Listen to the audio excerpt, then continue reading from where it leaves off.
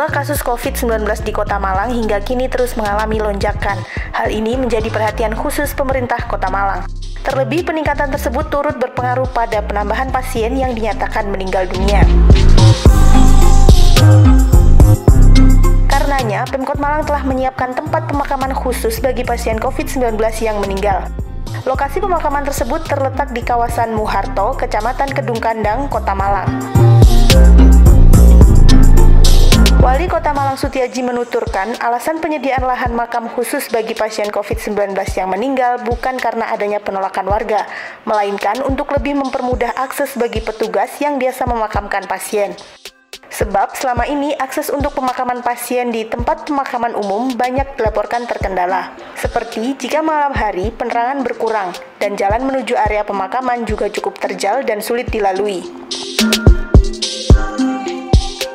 Di samping itu, ia menyoroti angka kasus pasien dalam pengawasan yang kini mencapai 600 orang, yang mana pasien yang dinyatakan meninggal saat ini tercatat sejumlah 64. Hal itu menjadi perhatian lantaran proses pemakaman bagi pasien dalam pengawasan juga harus menggunakan protokol COVID-19. Sementara kita pakai uh, di Muarto itu ya, jadi di, itu kan ada yang makam ini.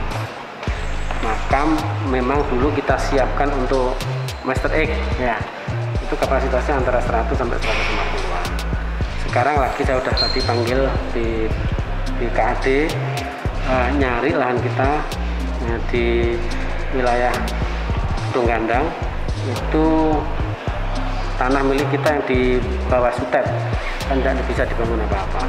Itu nanti akan kita buat uh, makam seperti gini ya perlu kami sampaikan bahwa seluruh PDP itu kan sudah masuk ke sana Mbak ya saya lihat tadi tingkat kematian di kota Malang itu rata-rata ya.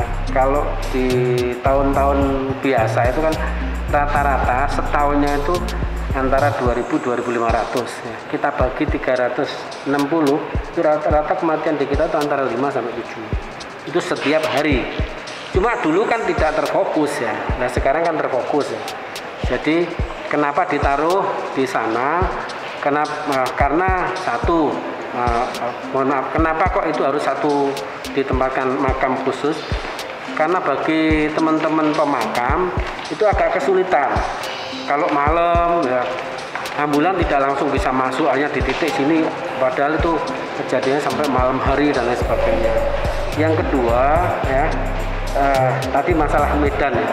Yang kedua akses masuk ke sana pun juga jadi sama sekali sebenarnya tidak ada penolakan dari warga tidak.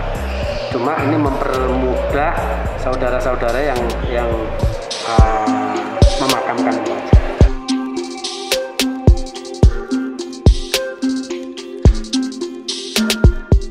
Nantinya, untuk pemakaman khusus COVID-19 ini juga akan ditambah. Pihaknya telah meminta Badan Pengelola Keuangan dan Aset Daerah untuk mencari lahan milik Pemkot Malang lainnya agar bisa dimanfaatkan sebagai lahan pemakaman.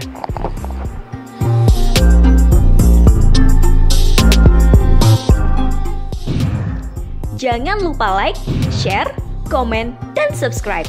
Berita selengkapnya langsung kunjungi jatimtimes.com ya. Terima kasih.